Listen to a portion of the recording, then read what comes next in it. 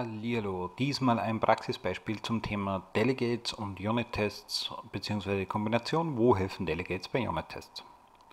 Ich habe hier eine kleine Klasse Prime-Generator als Beispiel gewählt. Äh, in dieser Klasse gibt es eine Methode getPrimes, bekommt einen Integer bzw. einen zweiten, ab welcher Zahl soll eine Primzahl generiert werden und wie viele hätten wir gern.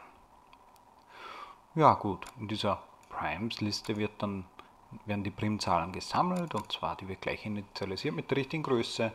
Wir gehen, wir sagen, solange wir nicht alle gefunden haben, prüfen wir, ob die aktuelle Zahl eine Primzahl ist und wenn das der Fall ist, dann gehen wir in die Konsole aus PrimeFound, damit wir sozusagen einen schönen Fortschritt haben, den wir dann auch immer sehen in der Konsole.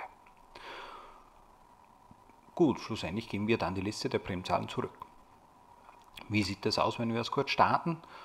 Einfach so bei 5 gestartet, die ersten 20 Primzahlen müssten dann das sein. Also ab 5 die nächsten 20 dann. Gut, wenn wir das jetzt testen, und ja, der Unit-Test ist jetzt nicht vollständig, dann haben wir hier folgenden Code. Wir haben hier einen Unit-Test, eine Theory, die bekommt, eigentlich sind es zwei Tests, einmal mit den Testdaten, wir starten bei 2, eine Primzahl hätte ich gern, dann ist die größte 2, die er findet. Einmal standen wir bei 5. Ich hätte gern die nächsten 5 Primzahlen und die größte, die er dann findet, sind 17. Diese drei Parameter werden entsprechend in der Methode reingegeben, das Objekt wird instanziert, die Liste der Primzahlen wird zurückgegeben und wir müssen dann genauso viele in der Liste haben, wie wir auch wirklich finden wollen. Und die größte Primzahl, die prüfen wir auch noch, die muss ganz hinten stehen. Also es muss das letzte Element sein in dieser Liste. Er somit der C-Sharp-Range-Syntax. Mir ist vollständig klar, der Unit-Test ist bei weitem nicht komplett. Ja, was ist, wenn ich negative Zahlen habe, etc. Vergessen wir das mal. Was ein Dorn im Auge ist, in diesem Fall, ist das Console WriteLine. Erstens sollen wir in einer mm, Geschichte, wo wir etwas rechnen, nie in die Konsole direkt ausgeben, sondern das anders lösen. Zum Beispiel mit Events, das im nächsten Video dann. Aber wenn wir schon so etwas machen, dann möchte ich zum Beispiel im Unit-Test prüfen, ob das auch wirklich gemacht wird oder vergessen worden ist. Also wir wollen im Unit-Test überprüfen, ob das auch wirklich für jede Primzahl aufgerufen wird oder ob wir hier irgendeinen Fehler haben. Jetzt könnten wir die Konsole zwar theoretisch umleiten, aber das ist doch etwas aufwendiger und nicht im Sinne dessen, dass ich hier ja zeigen will, wie Delegates das Problem lösen können.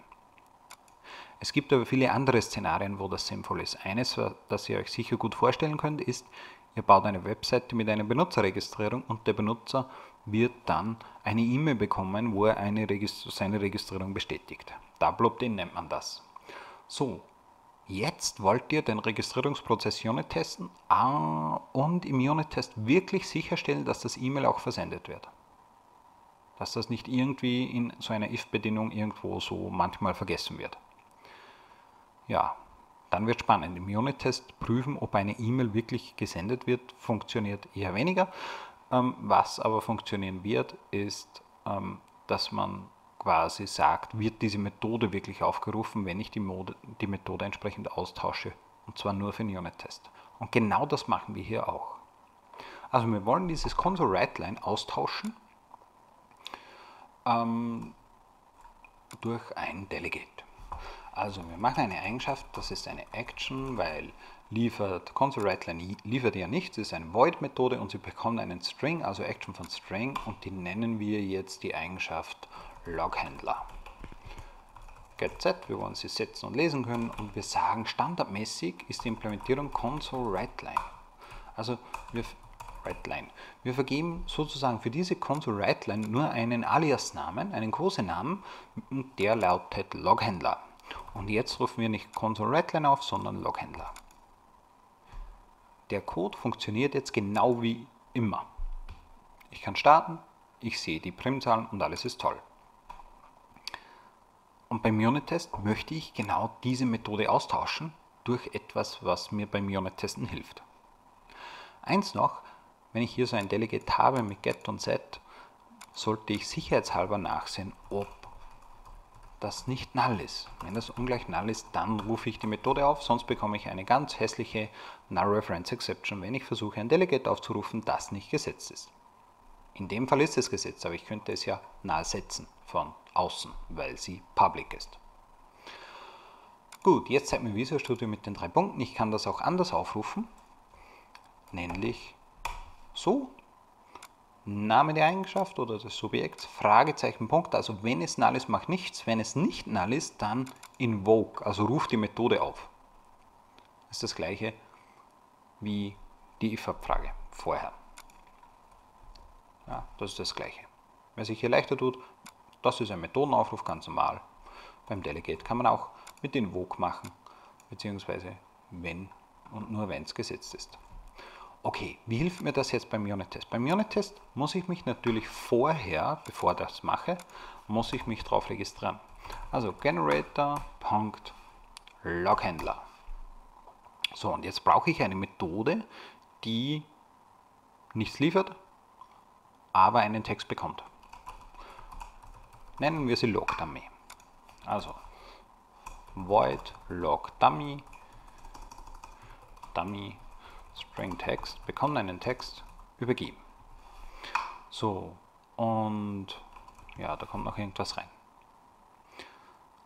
So, jetzt habe ich zwar einen Dummy gemacht, das hilft mir aber beim Test nicht. Ich will ja wissen, ja, wenn ich mir den Code ansehe, ich will ja wissen, wird das wirklich für jede Primzahl aufgerufen. Also dieser Event oder diese, diese Log-Methoden, die muss genauso oft aufgerufen werden wie Primzahlen, die ich suche.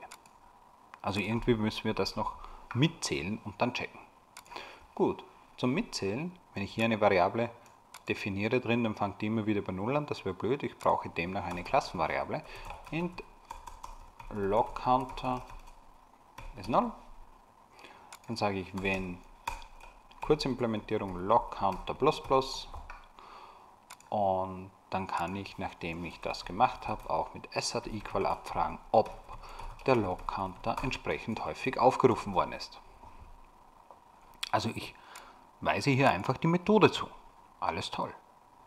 Und hier habe ich die Methode implementiert, etwas kürzer mit der Lambda-Syntax, ist das gleiche wie wenn ich das machen würde, nur etwas moderner.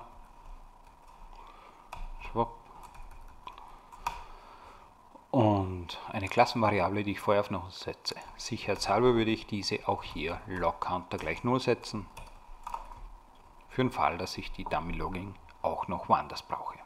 So, jetzt kann ich den Unit-Test hier auch ausführen. Alles wird wunderbar funktionieren und ich werde, wenn wir keinen Fehler drin haben, genau, hat der Log-Counter genau die Anzahl, wie häufig das passiert. Wir können uns auch durchdebuggen und das mal ansehen. Ja, ich Breakpoint rein, rechte Maustaste Debug. So, die Methode wird aufgerufen, F11 reingesprungen. So, wenn es eine Primzahl ist, dann ruft ihr hier den Loghändler auf, mit F11 reingesprungen, ja, dann sehe ich, er ruft die Methode hier heraus auf, erhöht die Variable, nimmt die Primzahl auf, sucht die nächste Primzahl, wenn er sie gefunden hat, ruft er wieder entsprechend die Dummy-Methode auf und diesmal hat LogCounter noch den Wert 1 und wenn ich darüber gehe, natürlich den Wert 2, also den Wert von letztes Mal hat er sich gemerkt und so zählt er mit. Alles wunderbar. Eine Kleinigkeit, die hier natürlich schon ist, der Code ist etwas zerrissen, der Log-Händler und das Dummy-Log ist eine Methode, die ist hier herunten. Ich habe eine Variable hier, hier oben. Ich kann das Delegate logischerweise auch anonym implementieren. Also weg mit Dummy, weg mit Lock Counter und weg damit. Breakpoint raus, damit es nicht so komisch ist. Also Integer Lock und wenn ich das Delegate anonym implementiere, bekommen wir einen Text und ich sage einfach Lock Counter plus plus. Ja, die lokale Variable jetzt in der Methode und es funktioniert genauso, obwohl ich jetzt sozusagen diese variable Methode oder diese lokale Variable erhöhe, obwohl der Loghändler eigentlich von, von der anderen Klasse kommt und so. Aber das funktioniert wunderbar, der wird sozusagen irgendwie so reingegeben. Ja, und jetzt habe ich die Sachen so wirklich beieinander, wie es sein soll. Wie gesagt, eine Variante hier, wie man das machen kann, wenn ich Code habe, den ich nur echt schlecht testen kann, wie zum Beispiel in dem Fall eine Ausgabe in die Konsole. Gleiches, ein, äh, Werte zum Einlesen. Gleiches mit ähm, ja, andere Beispiele, die wir schon hatten. Webclient äh, hatten wir ja auch schon. Ja, soweit so gut zu diesem kleinen Beispiel.